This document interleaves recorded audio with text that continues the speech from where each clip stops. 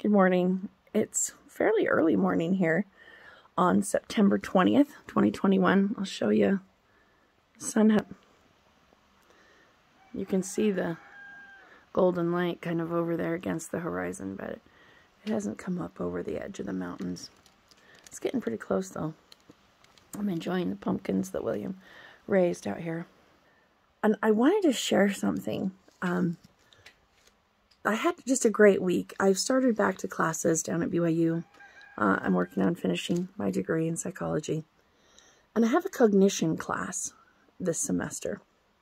It's really fascinating. I love to study neuroscience. I love to understand how the brain works um, and why people do what they do based on the experiences that they have and um, and how their brain works, like what's happening inside the biology of the brain. Um, sometimes we we look at people's actions, right?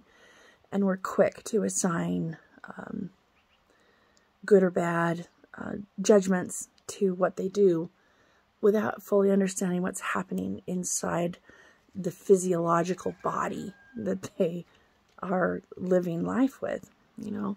Um, and we don't always make room for what's happening inside the mind. So this week we studied perception, sensation and perception, um, particularly like what we see, what we hear.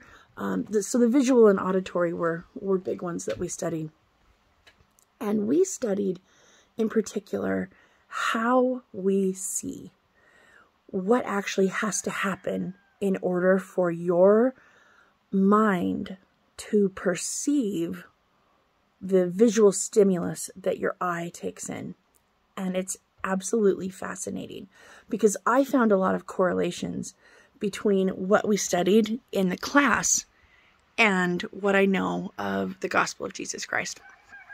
And when I was younger, my dad had this habit of turning everything into a parable. Uh, it didn't matter what it was.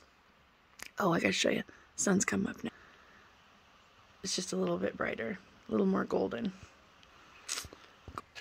So my dad would he'd look at musk thistle. I, he used to call it the parable of the musk thistle. We had we had it growing everywhere on our farm back in Missouri, and he would talk about the parable of the musk thistle. I'll have to tell that one sometime. Um, and anything that that could be turned into a gospel lesson typically was. So I find myself doing that a lot. And as I was studying the cognitive neuroscience of vision, how we see, I was so struck by what an allegory it is for our spiritual vision, what we see spiritually. So there's four steps. Essentially, there's four steps to good vision, to being able to see something and being able to clearly interpret what you see uh, and in which is called perception into something that you understand, right? So the very first step in vision is to direct your sight, your eyes towards what you want to look at. It's it's focusing in on what you want to see. And this seems like a kind of a no-brainer, right? It's like, oh, if you want to see something, you have to look at it. But it's actually an essential step there are a lot of times in life where we want to see something, but we don't focus in on it. We want to see wealth, but we don't focus on wealth. We want to see marital happiness, but we don't focus on our marriage. We want to have, uh, we want to see our children be happy, but we don't focus in on what their needs are. And sometimes we do focus, but we don't clearly see them. And that's actually kind of the next step. In order to see clearly, you have to seek light we've all walked out in the middle of the night and you see shadows, but you don't actually see clear shapes. You don't see, um, you don't see color. You don't see all of the, the things that are out in the night. That's because there's no light. We actually require light focused clearly on the retina in order to see things. The reason we have to have them, uh, we have to have the light is there's different kinds of of cells in the eye. There's cones and rods, and you've probably heard about this before multiple times. cones see color and they need light in order to see the color. Rods make up shapes, uh, and they're better for seeing at night, uh, which is another allegory, hold to the rod, right? um, but you have to have light in your life in order to see what you've focused on. So you have to look in the right place and you have to seek the light. After that, after you've sought the light and you've been focusing on something you want to see, your mind goes through this process of transforming what the visual stimulus into a usable pattern of neural activity. So all of these shapes and things that you've brought in, the stimulus you've brought in, are broken down into a an electro electrical um, stimulus that travels through the neuron to the brain.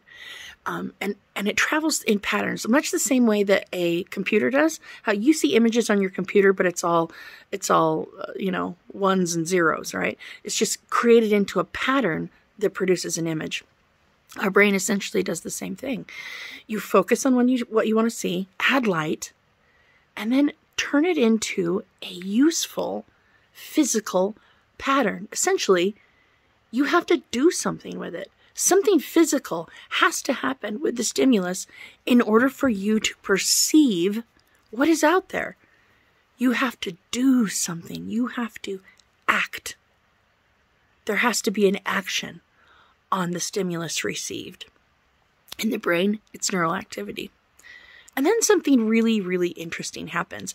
Once all of that neural activity transmits back to the brain itself, the brain has to repattern what it has seen, the stimulus, into something of meaning. And the brain fills in the gaps. So, like if you see half of an image, your brain actually will fill in the other half of the image so that you know what you're looking at. And quite often it does this. It, it perceives these things based on what it has perceived before. In essence, we see things so that we can perceive them, but we perceive what we have already seen. We build our perceptions by what we regularly look at. So if you're regularly looking at something beautiful, like um, a beautiful countryside, a beautiful garden, flowers, you're actually going to be able to perceive the beauty more because you're focusing on it. What you choose to focus on determines what you see. My husband loves to hunt. Um, we actually feel like it's important as family, as a family, to be responsible for the animals this way. Where human beings have moved into uh, to a lot of um, areas where we've pushed the apex predators out, it's actually the responsibility of the humans in the area to help manage the herds.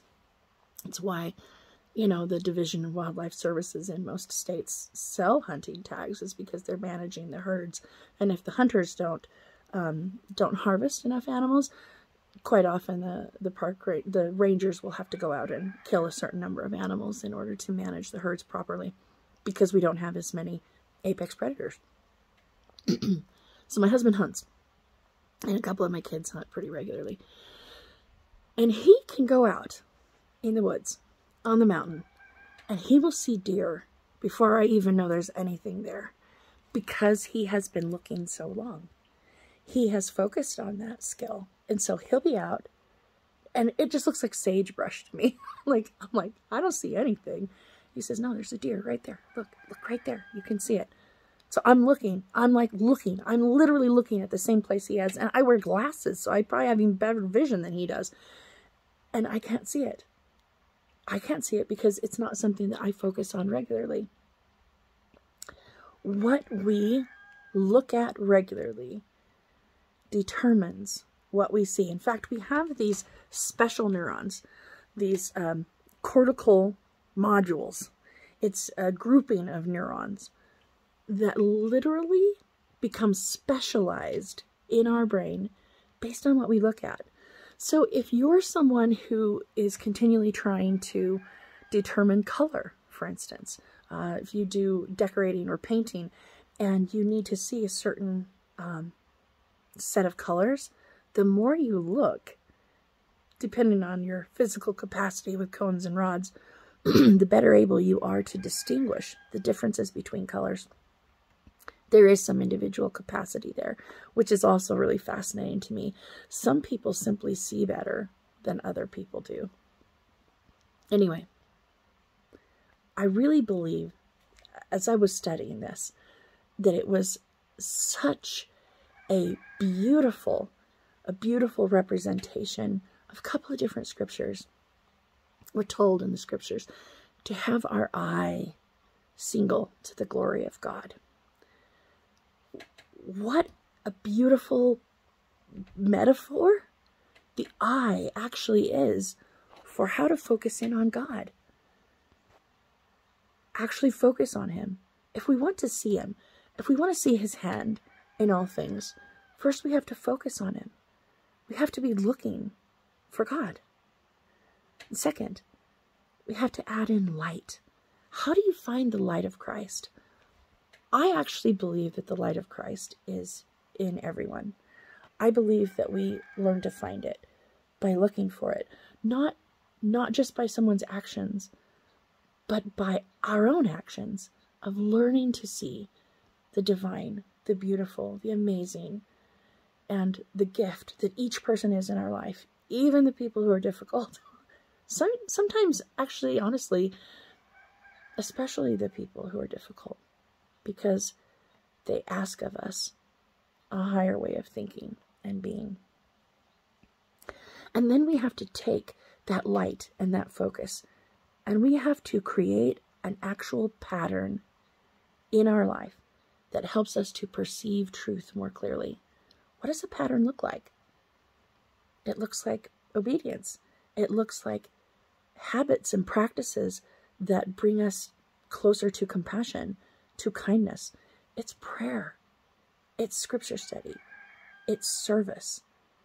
It's doing the things that Christ taught in his life. Being kind to people, even when they don't deserve it. Being forgiving of others. Because we all make mistakes.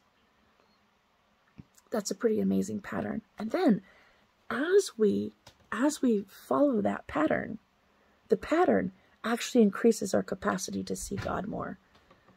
In essence, we find what we focus on. We find what we look for. What are we looking for in this life?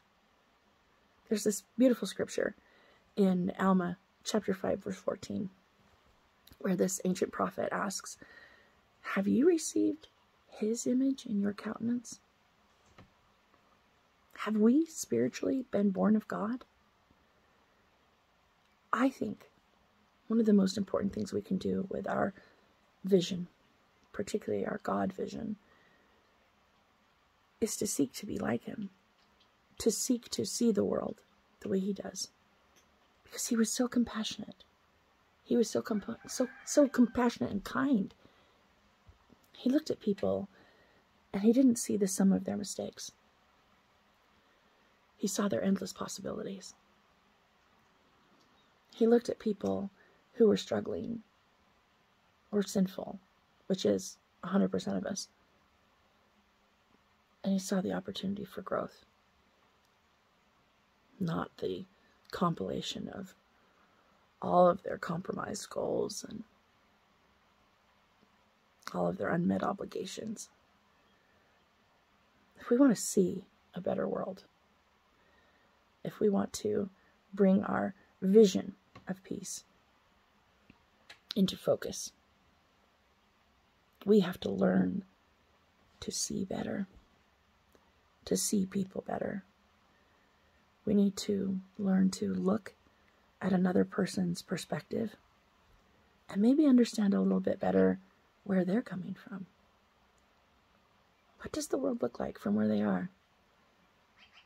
Are they focusing on something differently than you, not because they don't believe what you believe, but because they literally are standing somewhere where they see something that you don't see.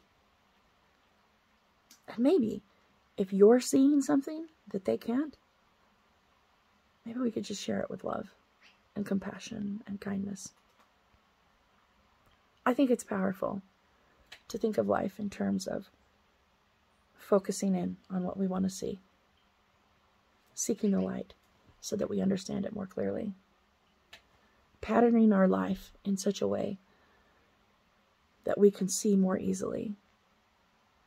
And practicing seeing that vision so often that we can pick it out.